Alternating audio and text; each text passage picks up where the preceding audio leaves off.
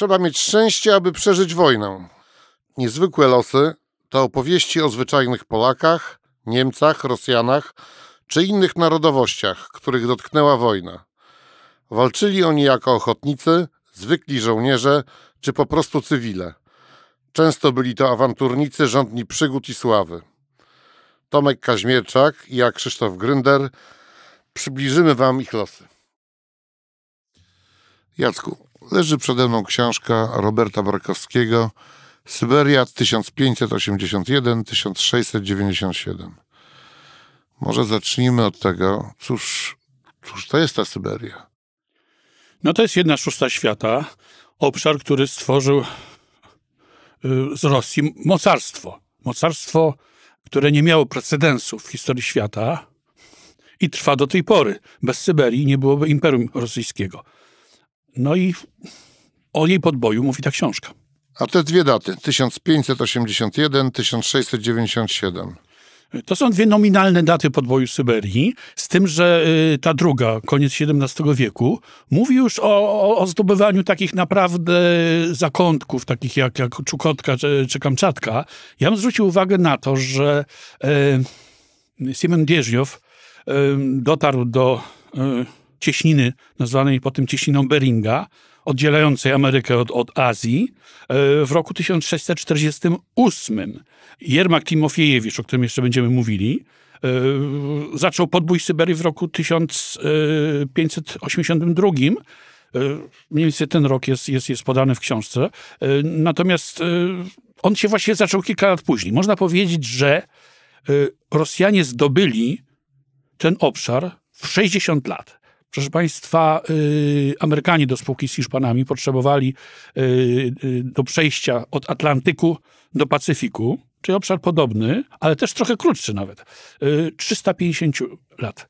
Y, no to jest y, od Uralu po Czukotkę to jest, ja nie, nie, wiem dokładnie, czy ktoś liczył może z Państwa, ale, ale to jest no tak circa about 10 tysięcy kilometrów. 60 lat, w 60 lat 10 tysięcy kilometrów. Gratuluję. I y, dlaczego y, taki teren to znowu, nie było precedensu łącznie z najnowszą historią w takim, nawet wliczywszy podbój kosmosu, w tak szybkim pod, podbiciu tak wielkiego obszaru Ziemi. Dlaczego tak się stało? O tym też ta książka opowiada. Dobrze, a może powiedzmy jeszcze, kogo podbijali Rosjanie, bo wielu z nas Syberia kojarzy się z krainą bezludną, zamieszkałą przez niedźwiedzie, łosie, renifery. Więc kogo ci Rosjanie tam podbijali? Nie tylko nam tak się kojarzy. Otóż yy, Syberia jest bardzo ciekawym etnograficznie obszarem. Tam jest około 30 e, małych i, i mniejszych narodów, yy, niestety wymierających, bo to, czyli to powiedzenie o pustej Syberii nabiera niestety złowrogi, złowrogiego kształtu. Yy, i to są, y, to są ludy mniej lub y, słabiej znane, począwszy od, od zachodu. Coś tam się wiedziało o, o, o, o Jugrach, którzy mieszkali, mieszkali na Uralu, teraz się nazywają Permiakami.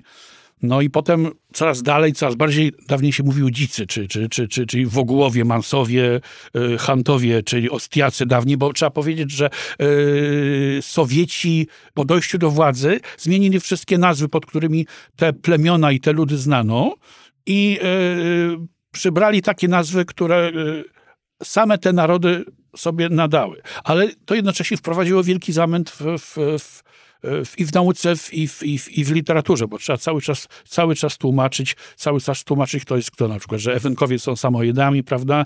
E, e, Ewenkowie są Tunguzami, przepraszam, Nieńcy są samojedami i tak dalej. Tylko Jakuci w zasadzie, Buriaci e, zachowali swoją rdzenną nazwę. To są ludy różnego pochodzenia, natomiast zwracam uwagę na taką mądrą nazwę paleoazjatyckie, czyli Syberia, no, nie muszę chyba uzasadnić, dlaczego jest krajem dosyć e, niegościnnym i e, w toku długiej historii ludzkości tam były spychane wszystkie ludy, wszystkie jednostki, dla których nie było miejsca gdzie indziej, w e, terenach bardziej cywilizowanych. Dlatego tam zachowały się bardzo, bardzo, bardzo archaiczne przykłady, przykłady ludów. No z pewnym wyjątkiem Jakutów, bo Jakuci, o czym mało kto wie, a są bardzo daleko na północy, są o dziwo ludem tureckim. Ale to też jedno, z- jedno, jedno z plemion tureckich, które, które wygnane w, w czasach, w czasach zawieruch tam, ta, tam znalazło swoje miejsce. I tych, ty, te wszystkie plemiona Rosjanie y, podbijali. To może tak. 1581, czyli początek. Tak. Y, To w zasadzie mm, miało swój prapoczątek, ponieważ y, Rosja aż do czasów nowożytnych kończyła się nawet nie na Uralu, ale gdzieś tam, gdzieś tam w okolicach Wołgi. Y, Cezurą było zdobycie Hanatu Kazańskiego w 1552 roku przez Iwana Groźnego. I to otworzyło już częściowo drogę na wschód, natomiast ta droga cały czas była, była zamknięta, e, ponieważ Rosjanie e, są narodem północnym, jeszcze Mickiewicz na to zwraca uwagę, e, i oni nie bardzo jeszcze wtedy lubili po stepach chodzić. Em, Potem się dopiero nauczyli. E, Ich żywiołem była tajga, by, by, były, były lasy. E, A ta tajga była przegrodzona Uralem. I e, do XVI wieku jedynymi zainteresowanymi, którzy na ten Ural chodzili, to byli na dobrą sprawę rodzina Stroganowów. Stroganowowie to była taka duża rodzina przedsiębiorców, kupców, którzy się wzbogacili na, najpierw na, na, handlu solą, potem na, na, na handlu y, y, skórami wiewiórek, soboli i, i lisów i wreszcie na, jak już doszli do Uralu, Uralu na e, hutnictwie. Oni zapoczątkowali tam, tam hutnictwo.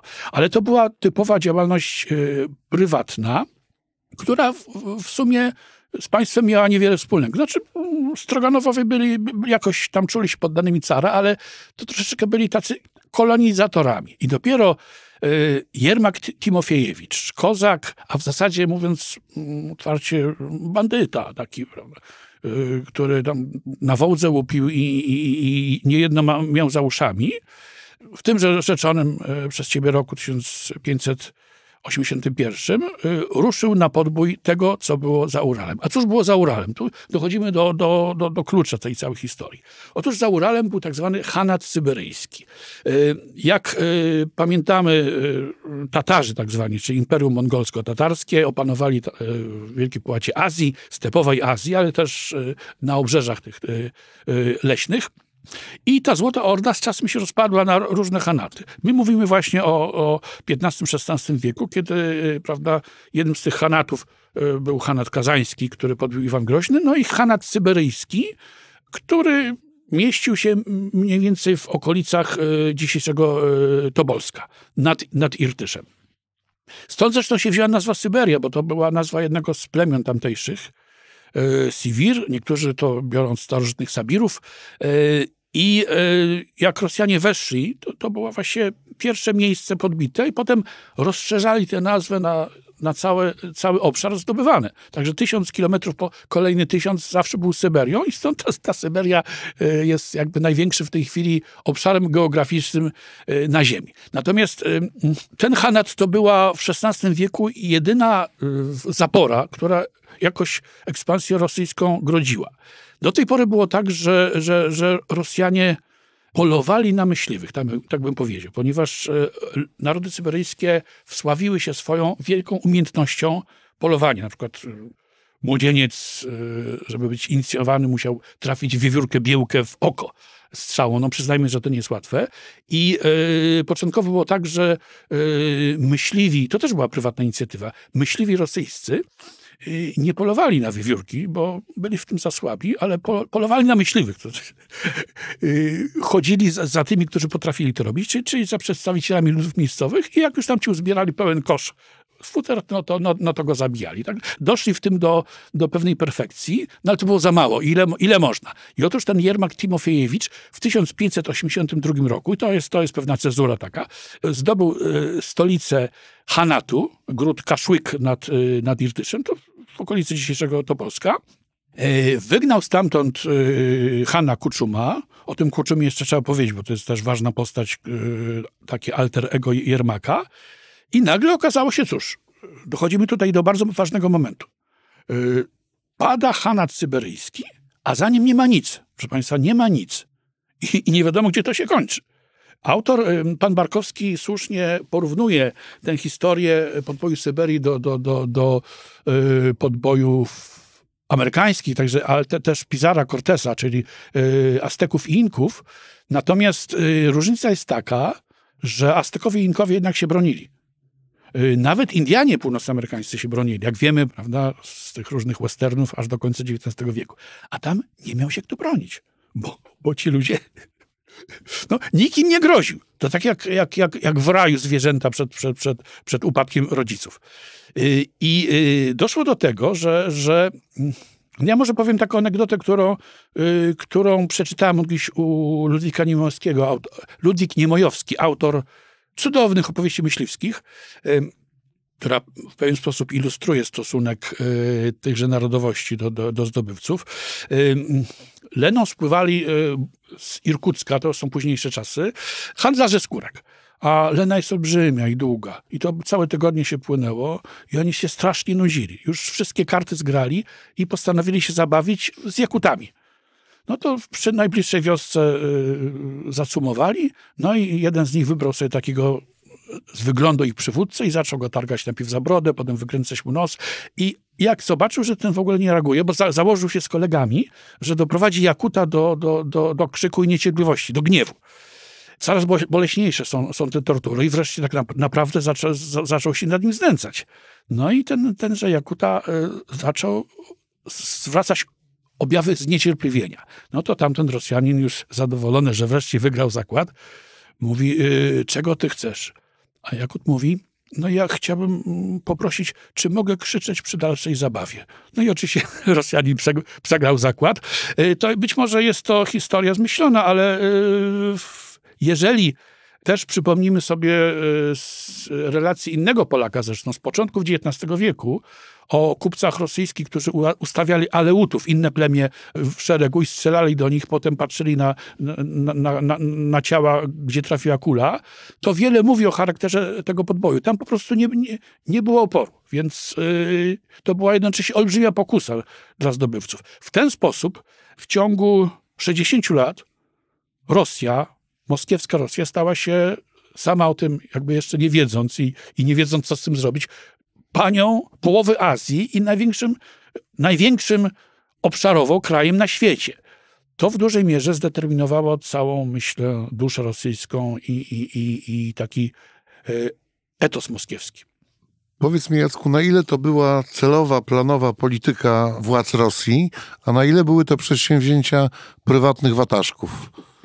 No do, y, tak do początku XVII y, wieku było to przedsięwzięcia prywatnych wataszków, bo jak powiedziałam, Jermak był, był takim w sumie prywatnym wataszką, a y, dopiero jego sukcesy sprawiły, że Iwan Groźny, Borys Godunow potem zaczęli się tym na serio interesować. I, i y, w, chyba dopiero za Godunowa zaczęły się takie pierwsze państwowe wyprawy z pewnymi takimi refleksami, na przykład, że nie, nie wsyłamy koni, tylko ubieramy, y, ubieramy swoje załogi w rakiety śnieżne, śnieżne i tak dalej. To oczywiście nie wyklucza inicjatywy prywatnej, ale mniej więcej od pierwszych dwóch dekad XVII wieku to już jest cały czas, cały czas parcie państwa.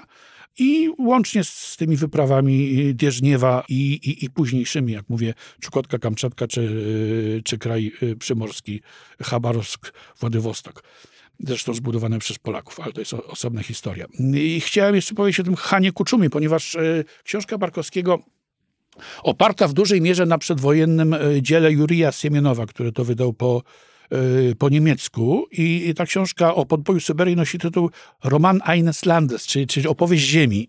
Y, I w książce Barkowskiego ta opowieść jest wyczuwalna. To muszę pochwalić też autora, że, że on y, nie wiem w jakiej mierze się inspirował, bo nie, nie znam oryginału. Natomiast, natomiast to się czyta ciekawie, bo to są nie tylko fakty, ale też jest historia. Więc ja obiecałem, że powiem o tym Kuczumie. Han Kuczum, czyli władca Hanatu Syberyjskiego, jedynego państwa, które stanęło, stanęło na krótko na, na, na drodze ekspansji rosyjskiej, bardzo długo obronił się on, yy, i, nie dał się złapać Rosjanom, ale to też była jego, jego plus, troszeczkę tak jak, jak plus y, Rosjan w wojnie z Napoleonem. On miał się gdzie wycofywać. Uderzał, a potem wycofywał się w głąb. I, I tak w sumie jeszcze ponad 20 lat bronił się przed Moskalami, i dopiero jak wybili mu całą rodzinę i no może nie, nie, nie całą, bo, bo, bo resztę zrusyfikowano, też dali początek wielu e, rodzinom szlacheckim, e, to już bardzo sędziwy, napójślepy starzec e, poszedł do Tatarów, do Nogajów, którzy go, którzy go zabili. Ale jeżeli mówimy o Jermaku, jeżeli mówimy o Dierzniewie, czyli ja po, podaję tylko nazwiska dwóch osób z początku i z, końcu, z końca te, tego podboju, to pamiętajmy też, te, te, też o Hanie Kuczumie, który był takim no, syberyjskim bohaterem. Natomiast no, y, sam Jermak też w, w oczach narodów miejscowych zyskał taką sławę pół, półboga, ponieważ on, on zginął w parę lat po podboju, zginął podczas napadu miejscowych plemion, wskoczył w nurt Irtyszu, ale miał na sobie ciężką kolczugę. Ta historia jest opisana u Barkowskiego i ta kolczuga go pociągnęła na dno. I dopiero w parę lat później któryś z rybaków tatarskich odnalazł tę kolczugę i po wielu przygodach ona, ona się dostała w ręce Rosjan. W każdym razie no, to, to też jest elementem, elementem takiej, takiej legendy Jermaka. Dobrze, porównałeś e, podbój Syberii do podboju obszarów e, e, Ameryki Północnej i Południowej. Czy można to na przykład porównać do walk z Rzymian z plemionami germańskimi? Y, no, zaskoczyłeś mnie tym pytaniem, natomiast ja tu takich pierwszych analogii nie widzę, ponieważ jednak między Germanami a Rzymianami różnica cywilizacyjna była mniejsza. Ci ludzie, wydaje nam się, że to są dzikusy w skórach i w hełmach z rogami, ale oni, te plemiona przynajmniej, które by, były w pobliżu limesu rzymskiego, to oni trochę tej kultury y, cywilizacji rzymskiej przy, przyjmowały. Tutaj mamy do czynienia z przepaścią, z prawdziwą przepaścią. Y, I y, powiem tak, bo to początkowo byli kozacy. Y, y, kozacy nadwołżańscy, którzy potem roz, y, rozprzestrzenili się na, na, na różne gałęzienia, różnie na, nazywane. I e, oni szli, szli, natomiast nie zabierali z sobą kobiet. E, a kobiety to był towar, przepraszam, że tak powiem, ale tak to na to patrzono. Jedyny towar, którego tam nie brakowało, no bo no, no, miejscowe. Mężczyznę można było zabić, można było jakby zaprząc do, do pracy przy, przy budowie e, twierdzy, ale y, ci, y, ci ludzie tworzyli haremy po prostu. O tym też, o tym też wspomina Barkowski, że, że takie wielożeństwo było czymś naprawdę bardzo rozpowszechnionym. Po co ja o tym mówię? Nie dla sensacji, tylko chcę zwrócić uwagę na bardzo mało znane zjawisko. Tutaj skoczę o kilka, o może dwa, trzy stulecia e, później, tak zwanych starosybiraków. Otóż e, to jeszcze, to są ostatnie lata przed rewolucją i, i yy, zaznaczył się taki duży podział na, na tych Rosjan, którzy tam przybyli, jakby kolonizatorzy i tych, którzy tam mieszkali od setek lat, czyli potomkowie tych, tej pierwszej fali yy, osiedleńców, właśnie po Jermaku. To byli ludzie zupełnie różni, mentalnie. Nawet niektórzy uważają, że to był inny naród, ci starosybiracy. A powiem więcej. W niektórych miejscach, na przykład w Jakucji, ci ludzie, Rosjanie, niby, nie umieli po rosyjsku. Oni mówili po jakucku, po, po w językach tamtejszych narodów. A dlaczego? Dlatego, że z powodu izolacji. To były takie duże odległości, taka mała gęstość zaludnienia, że, że z, z czasem i to jest właśnie odwrotne, odwrotne z podbojami Corteza, ponieważ y, tam jednak język hiszpański cały czas postępował. Indianin, który przyjmował język hiszpański, stawał Hiszpanem, metysem, prawda? Choć mieszańcem metysem. I tak jest do tej pory w krajach Ameryki Łacińskiej. Jeżeli mówisz po hiszpańsku i jeszcze masz jakąś tam chociaż krew, y, krople krwi y, iberyjskiej w sobie, to jesteś na przykład Peruwianczykiem, Ekwadorczykiem, prawda, i, i, i tak dalej. Tutaj, y, tutaj tego nie było. Tutaj ci starosybiracy stawali się, no, z języka przynajmniej, a także z obyczajów stawali się ludami miejscowymi. Ta Syberia po prostu pochłaniała w siebie ten nadmiar. I, i dopiero, dopiero pod koniec XIX wieku mm, reformy Stołypina, osadnictwo troszeczkę to zaczęło zmieniać. Taką różnicę tutaj widział. A wróćmy jeszcze do samego Hanatu. Jaka była struktura tego państwa? E, tak jak e, jakby w większości Hanatów na tym terenie. To znaczy e, rodzina hańska mówiła po turecku, ale tak większość, większość znaczy jakąś tam odmianą języka tureckiego. Większość mieszkańców stanowili, stanowili miejscowi. Hantowie, Mansowie, czyli mieszkańcy Dorzecza, e, Obu, Irtyszu i, i, i, i to byli rybacy, to byli myśliwi, y, dostarczyciele skór i w zasadzie y, cała struktura opierała się na tak zwanym jasaku. Jasak to jest, to jest, to jest forma poboru daniny, która też przetrwała w państwie moskiewskim aż y, kilka wieków później, czyli to jest, to jest danina, danina w naturze, głównie w skórkach sobolich wiewiórczych. Ale jakie były konsekwencje te, tej struktury? Otóż to były państwa słabe, ponieważ dobrze zwróciłeś na to uwagę. Kuczum jeżeli, w momencie najazdu moskiewskiego zaczął apelować do, można powiedzieć, z przymurzeniem obywateli swojego Hanatu i to słusznie, żeby się bronili przed obcym najazdem. Natomiast 80% tych obywateli stanowili e, poganie, bo, bo Hanat był islamski, tak jak, jak cała Złota Orda on dziś, no to i mieli swoje idole drewniane, no to i to właściwie było wszystko jedno i, i nie bardzo tutaj widzieli motywacji. Jest taki moment y, też opisany u Barkowskiego, y, bo Kuczum potem odbił ten, y, tę stolicę Hanatu na kilka lat, i trzeba ją było znowu zdobywać. I tym, który przyszedł z odsieczą, był niejaki Mansurow. Ten Mansurow postawił yy, troszeczkę niżej w dół obu, albo obi, jak mówią Rosjanie, bo ta rzeka jest rodzaju żeńskiego w tym języku, postawił tak zwany obski gorodok. Mówi o tym, bo to jest pierwszy tak zwany ostrog, czyli system takich właśnie fortyfikacji drewnianych, który był właśnie ostoją państwa moskiewskiego przez, przez pierwsze dwa wieki. No i, i, i Mansowie, czyli Ostiacy, dawniej mówiąc, Hantowie, przepraszam, ja sam się już mylę. Hantowie, y, czyli Ostiacy, postanowili ten obski gorodok zdobyć. I przyszli niosąc swoją taką wielką statuę jakiegoś bóstwa drewnianego. I zaczęli wokół tego skakać, modlić się. Natomiast Mansurow miał ze sobą jedną armatę. To była pierwsza armata na Syberii, która wystrzela pierwszą kulę. Pierwszy wystrzał e, e, oddany w historii Syberii e, zniszczył, zniszczył tę, tego idola i wtedy się posypało. posypało się dosłownie w przenośni. Ci, którzy oblegali, rozproszyli się, a potem sami przyszli z daninami. Czyli reasumując, Hanat nie miał własnego regularnego wojska. Oczywiście nie składał się z samej dynastii panującej. Tam była jazda, tam była jazda, ale ona sama nie, nie mogła stawić oporu y, takiej potężnej sile, jaką stanowiło państwo moskiewskie. I, i przy każdych większych zgromadzeniach bitewnych tam jednak gro musieli stanowić ludzie miejscowi, czyli Hantowie, Mansowie. W ogóle Niemcy, czyli samojedzie, o nich nie mówię, bo oni byli daleko na północy, trochę jak Eskimosi, tam trudno było do, dotrzeć.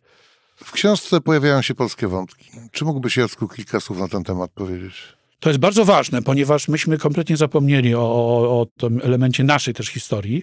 Polacy byli obecni e, od samego początku podboju Syberii, nie mówiąc o tym, że nawet w, w drużynie Jermaka był jeden z dowódców, nazywał się Nikita Pan. No pan to nie jest słowo rosyjskie, więc wszystko wskazuje na to, że, że, że, że to był Polak, w każdym razie obywatel Rzeczpospolitej, zapewne wzięty w niewolę, bo, e, bo tacy przede wszystkim e, trafiali na początek. Podobnie jak, jak yy, Nicefor Jaksa Czerniechowski, postać też wspomniana przez autora, to był człowiek, który wzięty w niewolę, zrobił karierę i yy, najpierw był też tasieńcem na Syberii, ale potem yy, po, po, różnych przygodach założył własne państwo. Yy, w grodzie Aubazin nad Amurem i tam przez 20 lat był jakby suwerennym władcą. I historia, którą powiem, tego w książce nie ma i ona nie ma solidnego podbudowania źródłowego, natomiast ona jest tak piękna, że nie mogę się powstrzymać, a y, jest, jest możliwa.